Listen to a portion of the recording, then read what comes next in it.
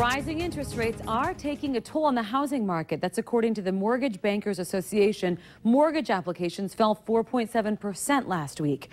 Applications to refinance fell 5%, while applications for home purchases fell 4% from the previous week.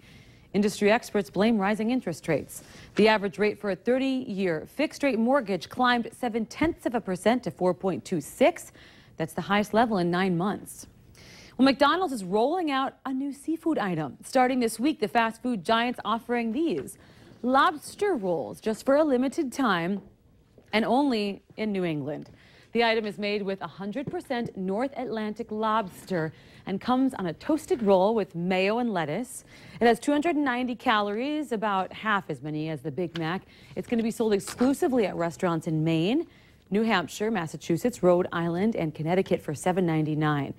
McDonald's first introduced a lobster roll and it called it the McLobster in 1993. But the fast food version of the expensive treat apparently flopped. We'll see if it does better this time. I always appreciate knowing that though. So if I'm Yes. traveling and it Yeah. entices me, I have the opportunity to go and grab one. Sadly, not making You're a trip back out to. Boston? No, not back out to Boston this time, but I'm going to keep that in mind. Yes, exactly. The Twins, they're, they're heading all over the place right now, looking at making a few moves as well as they look to improve on their uh, little bit of a rough June. We'll take a look at some of the